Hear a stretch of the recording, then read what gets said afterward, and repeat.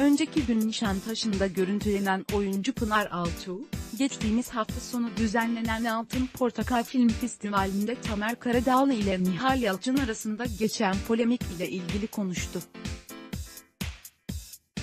Altuğ, ödül törenlerinde önce ödülün alınması gerektiğini, konuşmanın çok kısa yapılmasının esas olduğunu ifade edip, eski rol arkadaşı Karadağlı'nın kadınlara saygılı ve zarif bir adam olduğunu söyledi. Oscar'da 45 saniyeden fazla konuşamazsınız konunun cinsiyetçi bakış açısıyla değerlendirilmesini üzüntüyle karşıladığını söyleyen Altuğ, bana çok saçma geliyor. Şöyle bir gerçek var. Ödül törenlerinde çok insan ödül alır. Sırası gelen çıkar ödülünü teslim alır, ardından ödülle teşekkür konuşması yapar. Bu insana güç katar. Ödülü göstere göstere konuşursunuz. Konuşmanızı yapar dersiniz. Bunun da belli süresi olmalıdır. Sizden öncekiler ve sonrakiler de vardır. Oscar'da 45 saniyeden fazla konuşamazsınız mesela. ifadelerini kullandı. Biraz kısa tutar mısınız? Ödül törenlerinde genelde sunucu olduğunu ifade eden Altuğ, her ödül almaya çıkana biraz kısa tutar mısınız?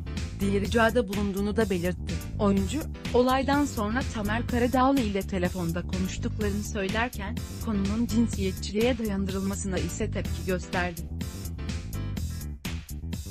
Ödül törenleri sohbet yeri değil uzun yıllar çocuklar duymasın dizisinde Karadağlı ile rol alan Altuğ, görenler ağzınıza geleni söylediğiniz bir yer değildir. O tören içindekilerinizi dökeceğiniz, sohbet edeceğiniz yer değildir. Sen konuşurken arkadaki kişi beklemek durumunda da değildir. Bu durum niye cinsiyetçiliğe varıyor onu bilmiyorum. Tamer'le iki gündür konuşuyoruz. Gülüyoruz yani. Siz böyle arkada direkt gibi beklemek ister misiniz? Ödüllü takdim edecek kişi senin konuşmanı beklemeden sahneden inebilir. Ödül verirken sus mu diyorsunuz?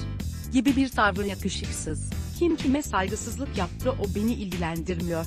Cinsiyetçi bir yaklaşım olarak nokta nokta nokta kaynak bağlantısı, en son haber adblock test,